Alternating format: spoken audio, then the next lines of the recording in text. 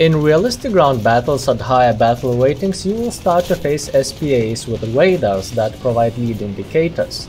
These machines are significantly more effective at destroying planes. That could look like a very bad news for anyone who likes to use planes in this game mode.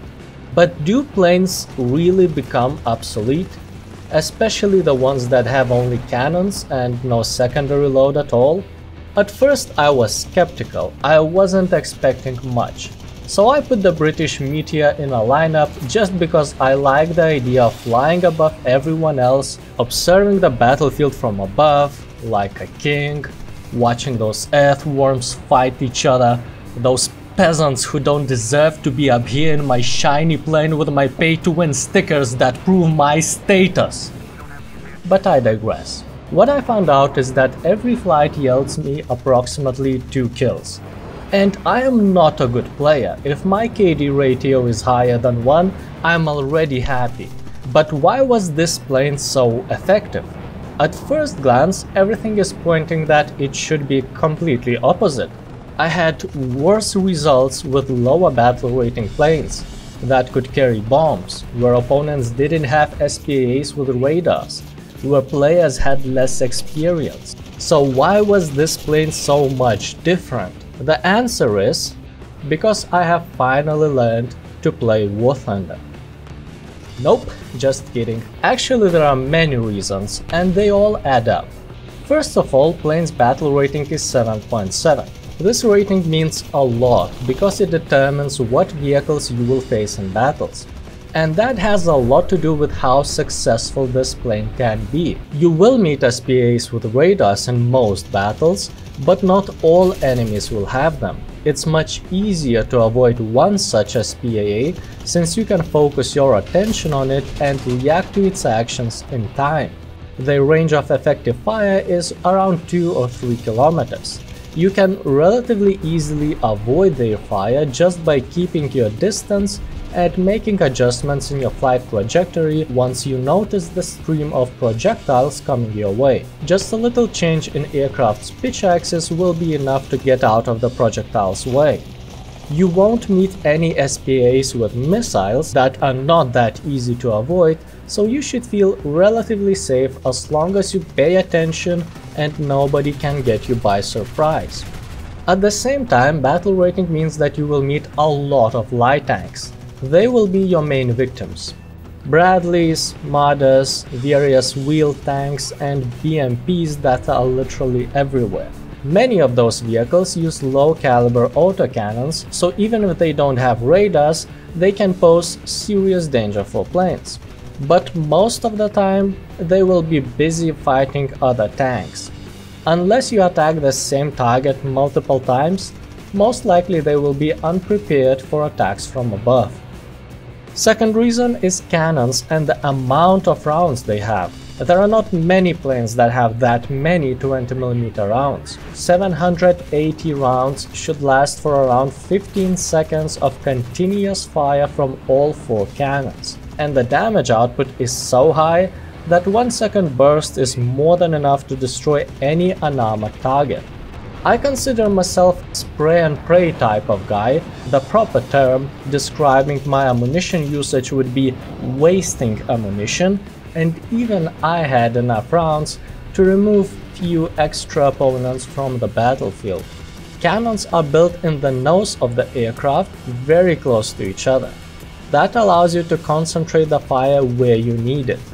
When machine guns are mounted on wings, there is a weak spot depending on where you set gun's targeting distance to be. Attacking the target closer or further away from it won't be that effective. While Meteor's cannons are placed at the center of the aircraft right next to each other, so you can be sure that all projectiles hit the place you are targeting. I was mainly using the belt for ground targets, mostly filled with armor-piercing rounds. It allowed me to effectively attack more targets. Medium tanks usually have roofs that are around 20mm, so with armor-piercing rounds that are able to penetrate over 30mm, I was able to penetrate most medium tanks. I'm not even talking about light tanks, they can be attacked from any angle, since those rounds go through the whole vehicle without issues. AP rounds are good enough for planes as well. It doesn't matter that they don't explode. The sheer amount of bullets piercing the plane will do a massive amount of damage that won't be stopped by bulletproof glass or thin armor plates that are usually protecting the pilot. Since Meteor cannot carry secondary load, you can expect to be one of the most maneuverable jets in the air. Dealing with prop fighters is easy. Just boom and zoom. They won't be able to keep up with your speed and climb rate. While jets will be more difficult, most of the time players prefer to play something heavier, something that can carry bombs, so you will maintain maneuverability advantage in most cases. In my experience, approximately more than half of enemy planes will be propeller driven. Half of jets will carry secondary load, and only the rest will be able to challenge you and pose real danger in air combat. You will be able to research a G-suit modification that puts some clothes on the pilot so you don't need to censor the game footage if you decide to record your gameplay. The G-suit also increases the forces pilot can sustain, though if the pilot can sustain more Gs, it doesn't mean that the airframe can.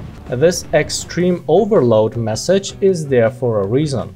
Few times I simply broke the wing mid-flight when pulling out of the dive.